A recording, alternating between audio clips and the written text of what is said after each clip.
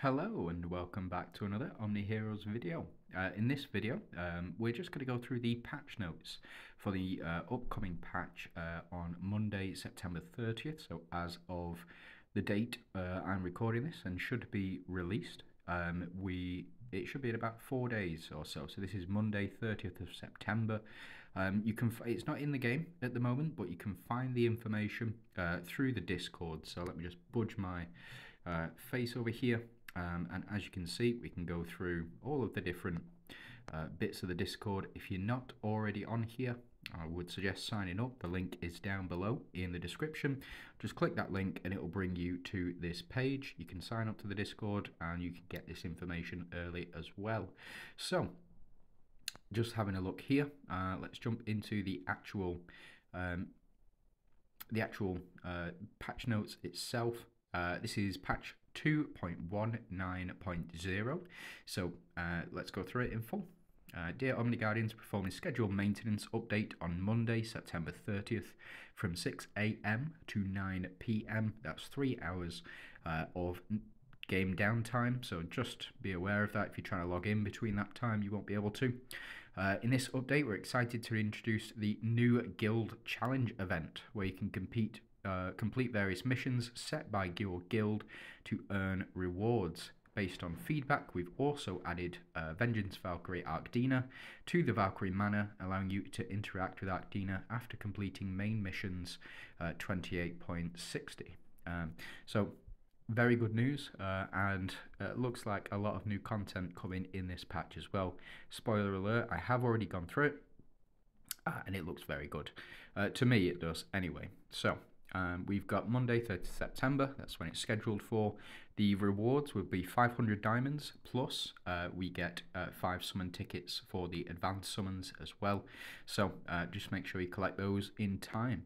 Now, onto the actual update itself. So this is the Guild Challenge. The new Guild Challenge event will kick off soon, where you can complete various missions released by your guild to earn points and attractive rewards. So the event dates will be uh, 4th of October to the 10th of October, so it's a total of six days, um, potentially seven, but I think around six days. Um, eligibility, so the guild level needs to be above 8, uh, which shouldn't be too difficult, uh, and your player level needs to be above 50. Uh, player uh, has been on the server for at least 15 days, so um, yeah, uh, not not too heavy requirements, especially been playing for a long time. So various missions uh, will be published during the event for guild members to undertake. Your guild will earn points upon completing these missions within the designated time frame. Rewards such as DD selection, tickets, will be given based on your guild's total points. Uh, at the end of the event, rankings will be determined based on the total points earned by all guild members. So it is effectively guild v guild, but the uh, challenges and missions will be assigned by guild leaders. So if you are part of my guild, watch out for that. Um, now, uh, you find the missions released by uh, your guild unsatisfactory. Guild leaders and captains have the option to swap them out. So get in contact, start communicating with your guild leaders if you're not already, um, and just make sure that you um, do let them know if there is a specific mission you can't complete. Uh, they've not released anything about the actual missions itself. Um, they've not released any of the, the qualifiers for it, so uh, we'll just have to see. Uh, I think it's going to be exciting. I think it's going to be interesting. Um, and yeah, let me know what you think down below. Now, Synergy Summons. Uh, we've revamped the Synergy Summon feature, allowing you to freely select the hero with increased summon rates. That is fantastic really is, especially if you're chasing particular heroes. So, uh, number one, choose your featured hero. When summoning, you can select a synergy and one corresponding legendary hero from the Empire, Woodland, Eclipse factions as your featured hero. So, uh, let me just jump into game for this. And we'll just have a look. So we jump into City. Um, a lot of you might not have... We'll wait for it to load. Uh, a lot of you might not have summoned uh, on here before. Um, but let me just show you. So this is the Synergy Summon as it stands. So if, say, for example, I were to summon here, um, I'll just budge myself over. I've got 19 scrolls, so I could summon 19 times uh, on this. Um, and then what we can do um, is we would be sort of uh, guaranteed, uh, not guaranteed, but there would be a higher chance to get Lancelot in this. But if, say, for example, you wanted to go for Sandra, you would then be able to choose Sandra from the list. Now, if we press uh, the refresh button or the uh, the change button, we can have a look here. Uh, we can see that Dooms uh, has uh, Avengers has Mavis, Glorians has Lee, uh, Ethereals has um, Portia. That needs to change. That needs to change soon. I we need to get uh, a better Ethereal's hero. Um, hopefully next season, fingers crossed, uh, so that Glasnost uh, can stop complaining. that we haven't had one in over a year, um, and then Valiantas as well. So you'd be able to choose one of these factions, uh, and then you would be able to choose one of the heroes from this. So say, for example, uh, you didn't want um, Halliser from this list, you wanted Doris instead. You'd be able to choose Doris from the list. So that's um, effectively what they're saying with this update. Uh, yeah, so um, for instance, you choose the Glorian synergy, you can then summon Nawi as a featured hero rather than um, the other Glorians uh, or the latest Glorians, which would be Lee. Um, so if you wanted Nawi over Lee, you could pick Nawi and you would be favoured if you were summoning uh, through here as well. The probability of obtaining legendary heroes is increased from 1.34% to 2.5, including the guaranteed rate. That's really good. That's a massive improvement, um, over a percent um, increase. Uh, it's going to all add up. Um, I yeah, it's going to be nice. Now, uh, new guaranteed drop me- uh, mechanism with a limit of 50 summons. So currently, I believe it's uh, 60 summons and you get a guaranteed hero. Uh, but now they've changed that and they've reduced it down to 50. So as long as you summon 50 times, you will get um, a, a five star hero uh, and you'll have a higher chance of summoning uh, the one that you want as well, the one that you've selected. Very good. And this has all come from player feedback.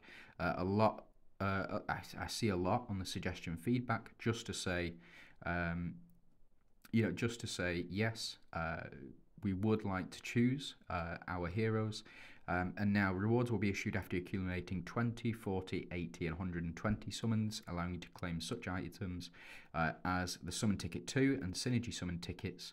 Previous rewards based on summon counts have been replaced with the more cost effective options, uh, including featured heroes and guaranteed mechanisms as well. So uh, they've just scrapped the entire Synergy Summon and they are replacing it. Uh, so uh, we'll we'll just have to see how well that goes. Um, yeah, again, it is. I think it's going to be good. I think it's really going to be good. Now, uh, feedback updates. Valkyrie Manor has been updated uh, with Ardina, um, and you can interact with her uh, and uh, potentially get a copy of her. Unlikely, uh, but you may be able to. Uh, you might just get two two Oracle tokens instead, but we'll see. Um, and then after the after the calamity, that was the um, oath recall change. Uh, I think that for higher spenders, uh, for those who are actually spending on oath, the oath has changed uh, for the better. I think that the rates have gone from, uh, I think it was 2.3 units. Uh, so, say for example, for me, uh, it was 2.3 pounds per scroll, has gone down to 1.9 after those changes. Um, but what they've done is the Oath Recall event now includes purchasable Immortal Summon tickets for 1500 diamonds, uh, and you can purchase up to 10 tickets per event. So if you were to, say, for example, have uh, 15,000 diamonds, um, you didn't want to summon on that particular banner, you could then, uh, or you can now buy those um, uh, those uh, Immortal Summon uh, scrolls um, up to 10 per event. So if you wanted to go for the 100, it would take you 10 Oath recalls, which is about two seasons or so um, worth of saving, but you can purchase those tickets now. So a very good update, um, I think, uh, and it's much needed for those free-to-play players who do use that uh, function um, to save those tickets. Uh, it's very good, very good change um, back to how it was before as well. Now, other uh, updates a new Valkyrie rescue event has been introduced, allowing you to earn various rewards after completing chapter missions and rescuing Valkyries. Uh, I believe that will be. Let's just jump into game again. And it'll be this here. Uh, so currently, this is the Valkyrie Guardianship, and you got um, uh, certain levels. All of my quests have been complete for a very long time. Uh, I think this will be updated or there will be a new event um, very similar to this as well. So uh, I think they're uh, moving that along as well. Um, and I think it's going to be really good. I think, well, hopefully, depends on the rewards. We'll have to see. We'll have to see what the, the rewards are for it. Now, uh, a new event calendar feature is available where you can check upcoming events, including Oath Recall and Oath Rebate events, uh, or sorry, Oracle Rebate events. This is available in game. I'm not going to click on it at the moment, but if we go to the top right, you can see the event schedule here. Uh, that will be uh, a permanent feature um, within uh, this. I don't know within the interface. I don't know where it's going to go, uh, but it will be there now. And I think the reason that they're introducing this is because a lot of people were really annoyed that Cleo's image was on the last uh, oath. Now they never officially announced Cleo's return, but it was very heavily implied as they changed uh, the picture on the oath from Eudora uh, to Cleo. So a lot of people assumed that it would be um, Cleo returning on that banner. It's not.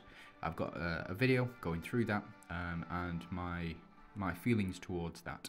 Uh, but they are now making progress with that and uh, it's going to be a lot clearer and lot, I think it will be a lot easier for them to update as well with this event calendar feature.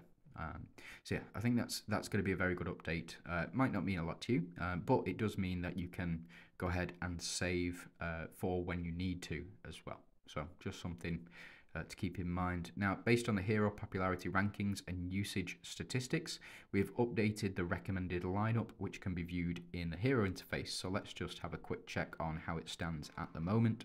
Go into our heroes, um, say I go into Dorabella, and we can have a look at the guide here. So go into guide, and these are the recommended hero pairings. So what's going to happen is these are going to be updated. So as it stands at the moment with Dorabella, um, they say you need Dorabella, Katrina, Ellie, Karnak, and Mastema. Those are um, allegedly the best heroes or your best buddies for um, Dorabella, and these two, um, these two relics down here. This will get updated, I believe, uh, with this particular um, particular update. So yeah, based on the popularity rankings and usage statistics, um, I've not covered this, uh, but if you go to your heroes tab, you can click on the top ranking and you can have a look at who is top. So Atrops is currently top, followed by Macaria, and then Elma, then Astrid, um, and then you can go into the rune rankings. So as you can see, we've got Atrops, Nawi, and Dorabella, all with red runes. You can go ahead change these up. So for Epic, you've got Atrops, Seraphina, and Astrid, and these are updated as well on a um, I think a weekly basis. Uh, yeah, so these are updated on a weekly basis. Uh, you can go uh, go through and see which units you should be prioritizing. So Atrops being the top, Macaria uh, being the second, and Elma being the third, uh, Astrid fourth, so on and so forth. And you can do that for each different faction as well. Um, so based on these uh, and the relic rankings as well, so based on these and the lineup rankings, um, they're going to change the feature within the Heroes tab. So if we go on Nawi, let's have a look at her guide. So this comp will be updated, yeah. Um, Yasuke, what a joke. Uh, having him in with Nawi, it, yeah, it is what it is, but these have not been updated in a long time. And based on the hero rankings uh, and the team setups uh, and the, the relic rankings down here, this will be um, you go to source for what teams you should be running with that particular hero. Going to be really useful. So we'll check that out when it does drop. Now, I think that is it. Um, yeah, please check official in-game content after the update for more precise information. Um, yeah, and it's just a note from them. Uh, thank you for your uh, continuous support and love for Omni Heroes. Continue to work hard to provide you with uh, an improved gaming experience. So this is the the next update. Um, let me know what you think down below. Uh, if you can hit like and subscribe to see more of uh, this content, and when we go through it all in full, we'll be able to uh, check all this good stuff out. So, yeah, thanks very much for watching. Um, I do hope you have a fantastic day, uh, and if you have any comments or any thoughts on this, just let me know. You have a great day.